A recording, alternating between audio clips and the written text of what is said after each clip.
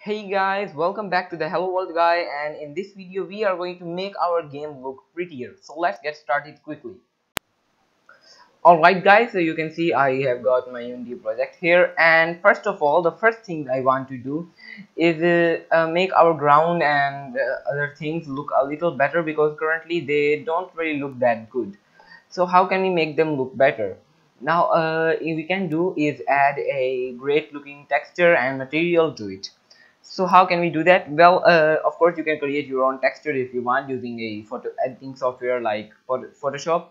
But uh, uh, i'm going to give you a link uh, to the unity asset store and the unity asset store is a great place for getting free and paid assets and it's uh, it's a really great place especially for prototyping but nothing stops you from making full games using those assets so anyways uh, there is a cool asset called Gridbox prototype materials and i have given you a link to those assets in the description of this video.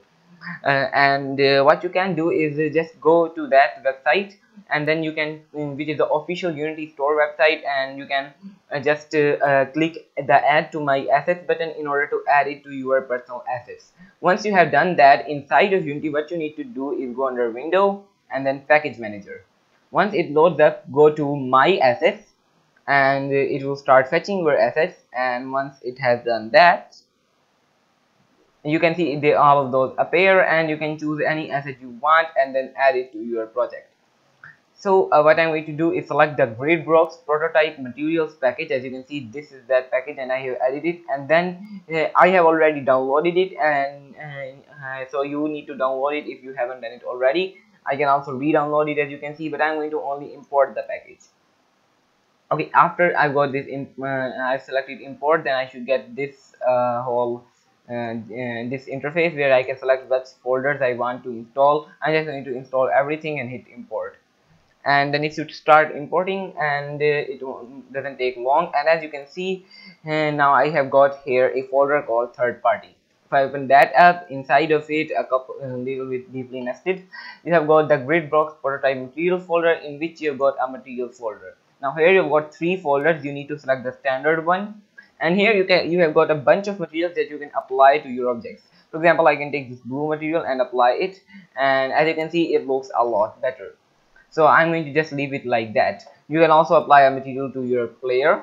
And uh, to enemy as well you can but uh, of course we are animating that therefore we cannot apply uh, the material. And as you can see the game already looks a lot better.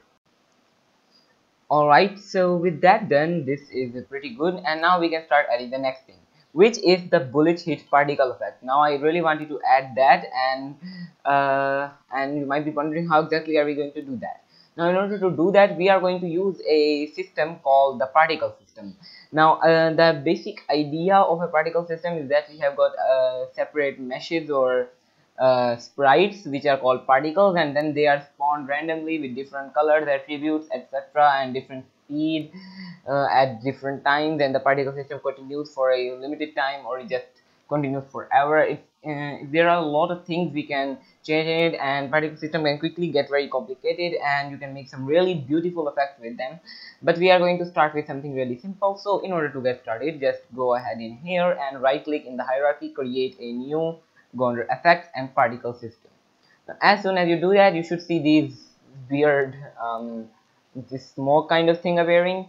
Uh, now uh, I, um, uh, what you should see is that now uh, what you should see is that we have got a particle system here and this is a, the actual component of the particle system. And here you've got a bunch of settings uh, quite a lot of settings actually.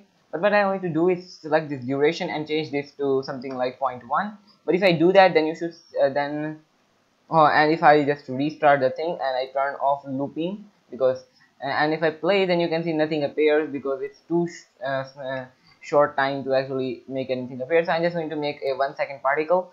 Now of course this doesn't look like a bullet puff or anything of that sort but we are going to make it look like that uh, soon. But first i should get uh, i think we should program the logic that will actually spawn this object. Now uh, how are we going to do that? So for of course i'm going to open a visual studio here and this is our shooting script. Now in here uh, we are basically uh, saying that it was attacked. I'm going to actually let me just check. Okay. I'm going to remove this debug.log and this as well. Okay all right i'll let this say because this gives us a health. I will remove that one. Okay so now what i'm going to do here is uh, just check if the um, basically we need to spawn a something at the uh, exact location where the hit uh, happened. So for of course we want to know what we want to spawn. So for that i will create a game object called effect. And oh, oh right sorry. Okay. And in here uh, we can use a function called instantiate which well it creates a uh, it creates an object. And for that we need to give it an original object. And then we need to give it a mm, we can give it a transform which is the parent. But of course we can't do that uh, because we have a position. And you, we can also give it a position by the way for that we can hit dot collider dot transform dot position. Now they, uh, and for the rotation of this uh, what is the okay we want to use we want it to be rotated uh, at the direction of the face so for example if we uh, if we all right let it compile. So for example if it hits uh, this enemy at here right here then the face is pointing this direction and that's the direction this particle system should be spawned at uh, with the rotation. So in order to do that it's it's very simple. Actually we can use a function in the quaternion class called quaternion.look rotation. Now all we need to do is supply this with a vector 3 and it automatically looks at uh, gives us a rotation that is looking at that vector.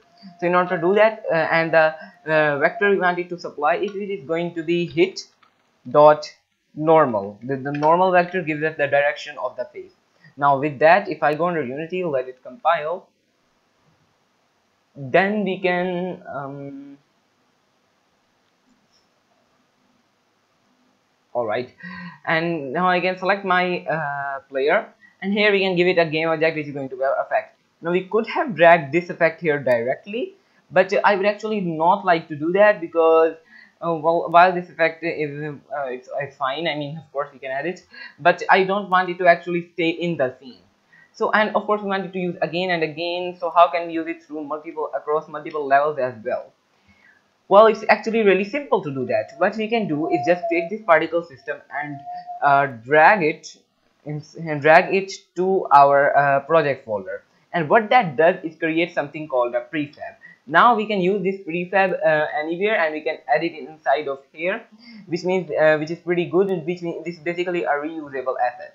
So if i rename this to bullet uh, hit effect and then maybe uh, i will just put it in another folder create a new folder called prefabs and just drag this inside.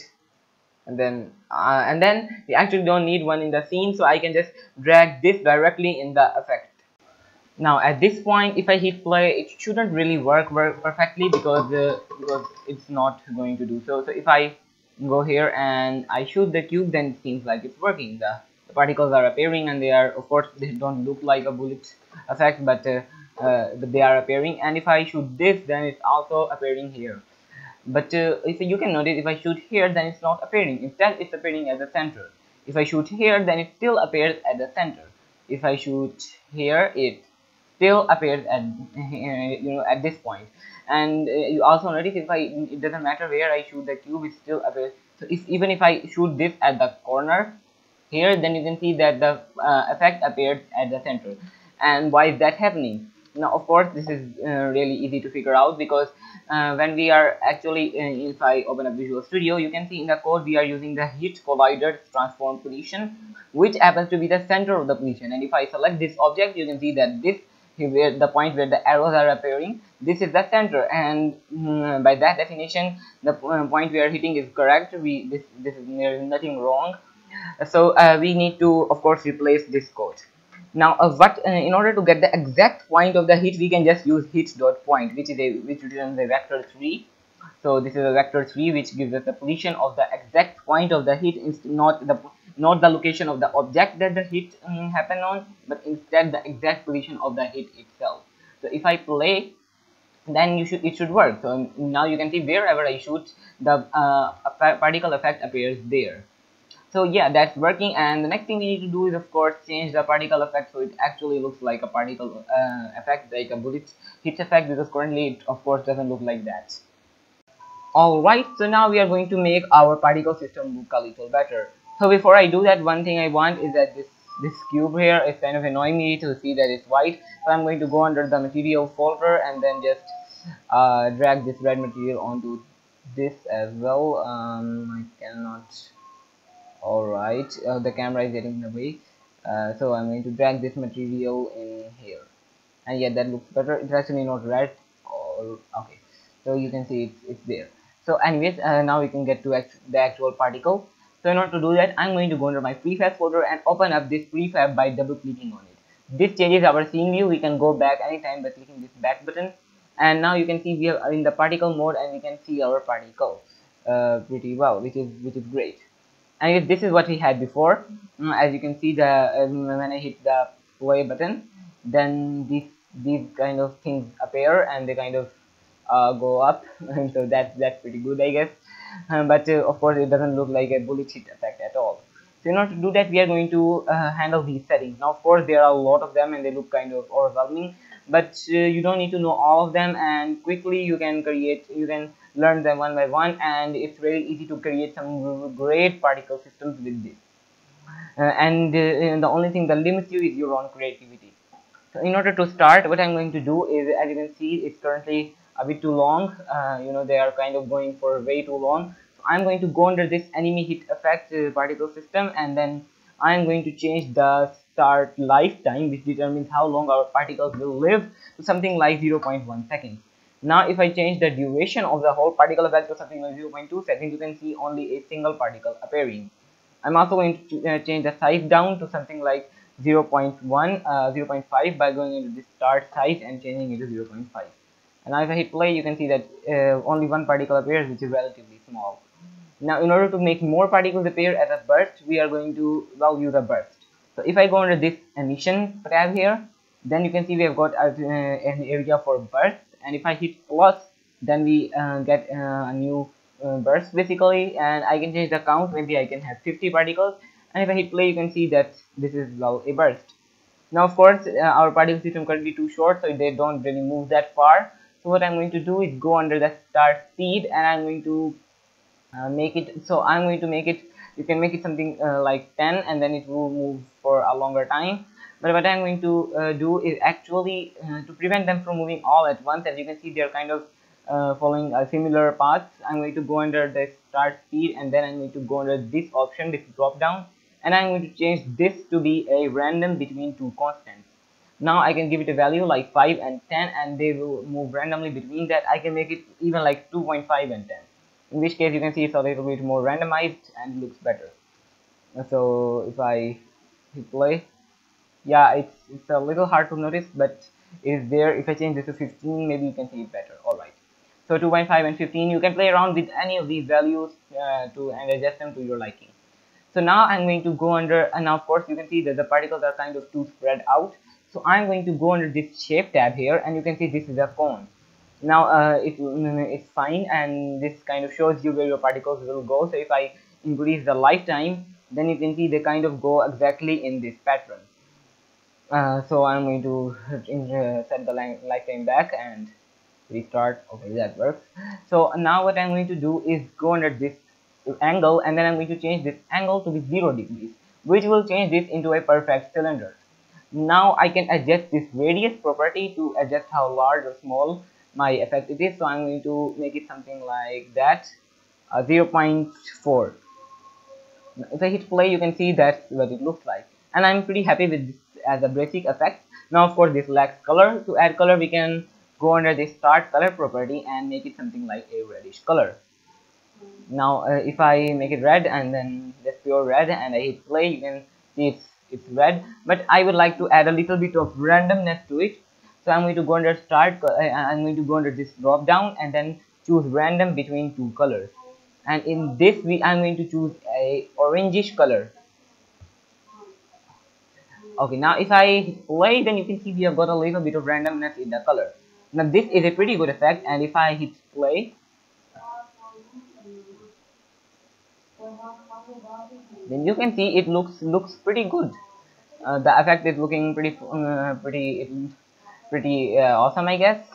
And you can adjust this to your liking maybe it's a little too large for you or uh, you know you want to adjust it or maybe you you like a more of a realistic looking um, uh, effect with some grayish color instead of this red thing that we have put up.